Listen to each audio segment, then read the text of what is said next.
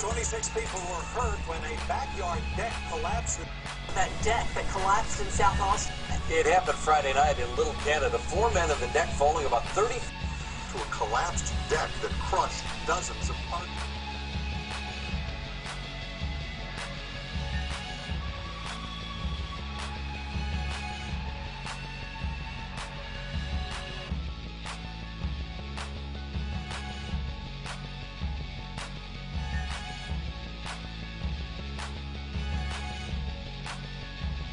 So Lawanda, tell us about the experience with that deck collapse.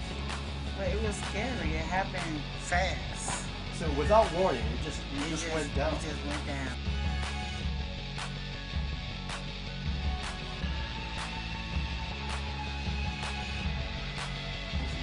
So it was just like that fast, and it went down. And Yeah. you know, you're looking up, and the deck was Yeah, there. it was down. Yeah, on my foot was here.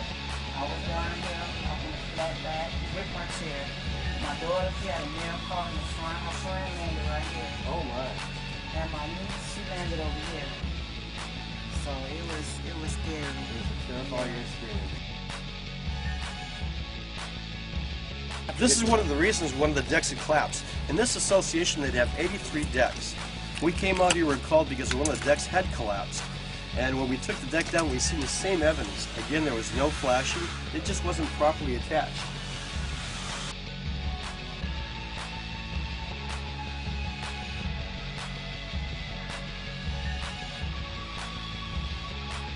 list, give it a yearly check.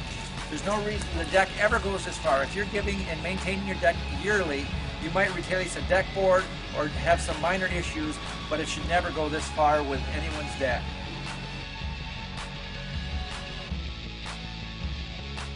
Let me ask you, where would a person find an inspector that would come out and let's check out their deck? Go to www.nadra.org and find a deck builder in your area on their website. Give them a call and they'd be more than happy to come and check your deck.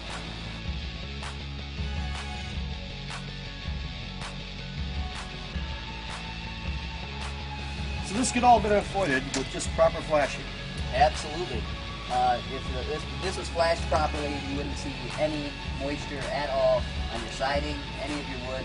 Um, and as you can see, it goes all the way back into your studs and insulation. Everything is just drenched. Look at the damage that's done to the wall itself. I can actually put my hand right inside to this.